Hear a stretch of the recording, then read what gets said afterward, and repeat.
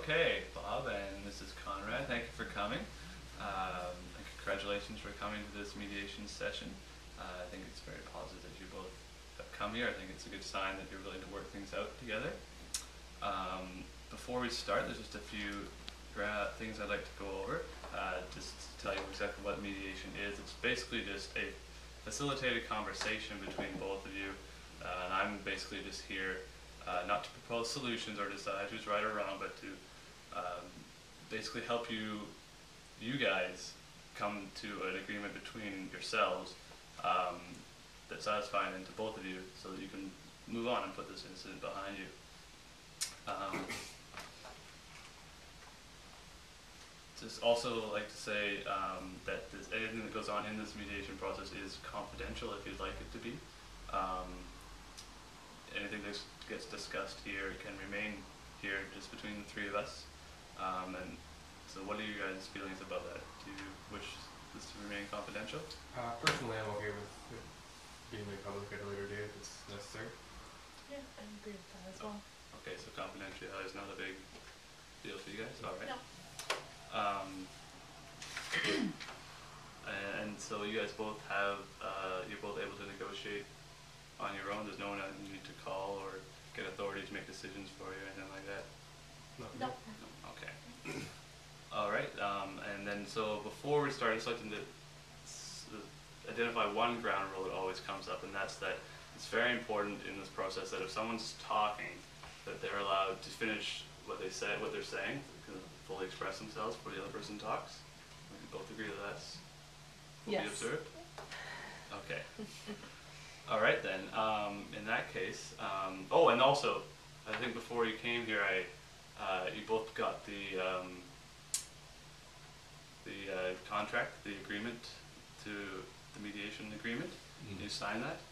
Yes. You abide by that? Yes. All right.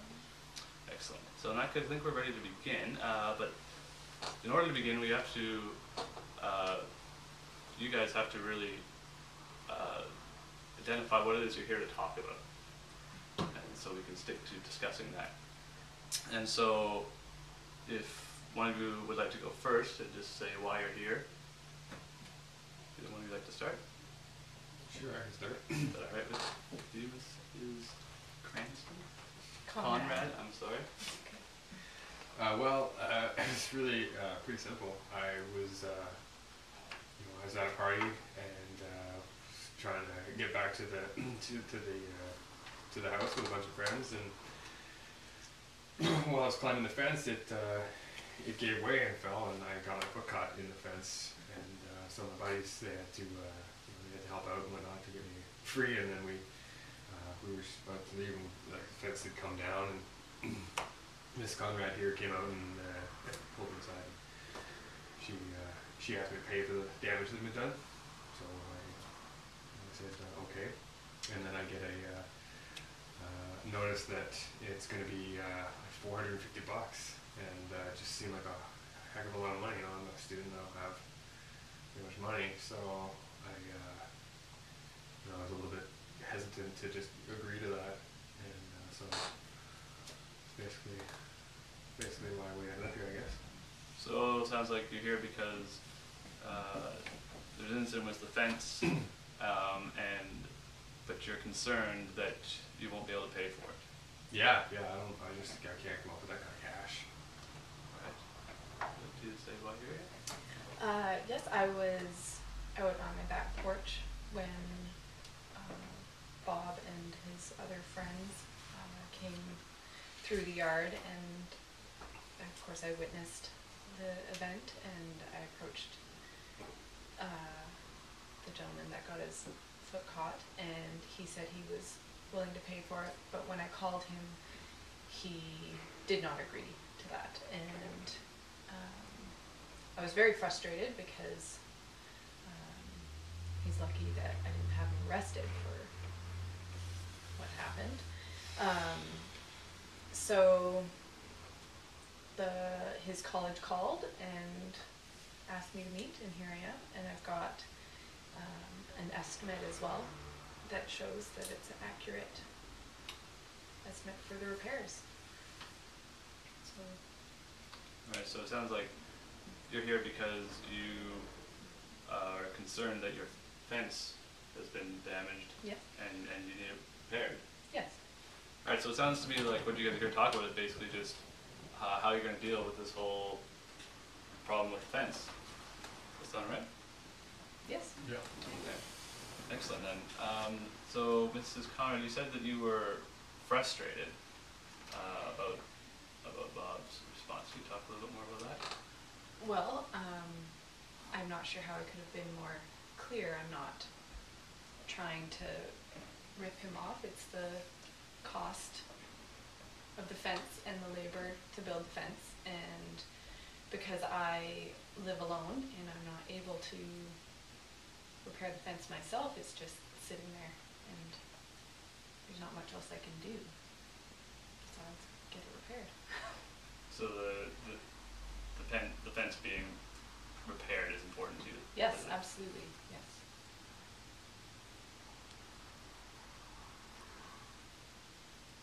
Okay, Bob, do you have anything to say about uh, about this? I just, I, I just, we just need to find a solution that, im- that, that, that, uh, that, uh, doesn't require me to fork over four hundred and fifty bucks. So, what is it about about four hundred fifty dollars that? I just don't have it as a, as a student, you know, like it's, it's tight, uh, you know, day to day, it's, uh, you know, sometimes a lot of, uh, not a lot of cash flowing around.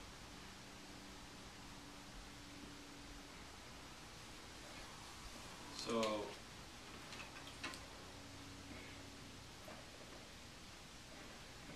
And so, just going back to something you said, you said you felt it was lucky, he should feel he's lucky that get arrested. Um, why, why, why is that?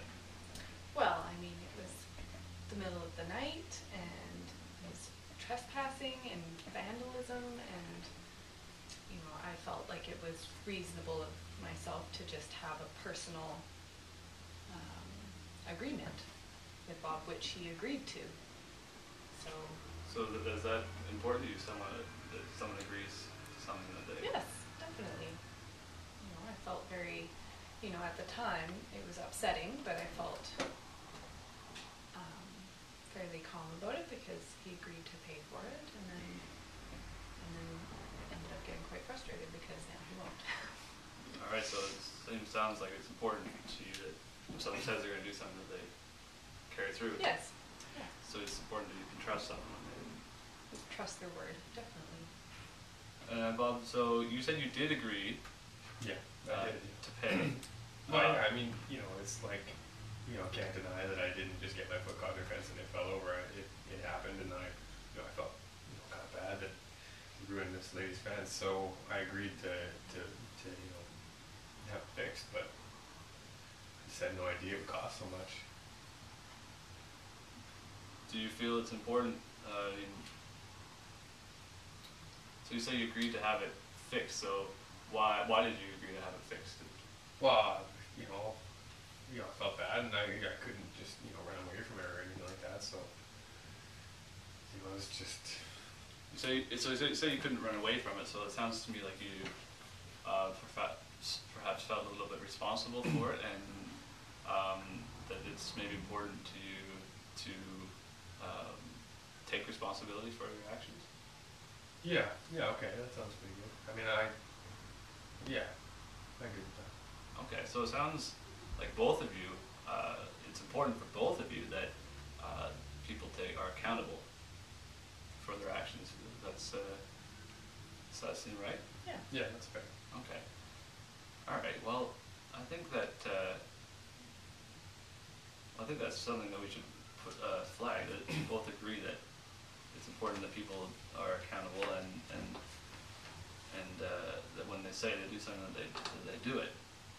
Um, so given that, uh, given the importance to both of you that uh, of people taking responsibility and your need for a defense to be uh, repaired and your uh, inability to pay uh, the cost that uh, Mrs. Conrad has come up with, I think that maybe it's time for for you guys to maybe try and come up with some ways uh, to solve this issue, to move past it? Anyone, uh, do you have any ideas? Well, can I speak? You said, Um, alright. Uh, as I mentioned before, I live alone and I'm just not entirely uh, physically able to repair the fence. And you know, when my husband was alive, he probably would have um, done a lot, could have done some of the work himself. And so uh, it might help cut some costs down if Bob were to help with some of the labor because the the quote I got was for the materials as well as the labor. And so if he were to be able to help with some of the labor, maybe that would, So it's not necessarily that you want him to pay the money, it's, it's that you're unable to fix the fence? yes, because that is the money it would cost me to get it fixed and needs to get fixed and I have no other means to have that done, so. Bob, do you have anything to say regarding that? Well, uh, you know, I'm not terribly skilled with a hammer and saw, but I, you know, I would be willing to put put some hours in. I, I think, uh, you know, maybe uh, if it was if there was someone there to help me or something like that, I could, I could maybe do that.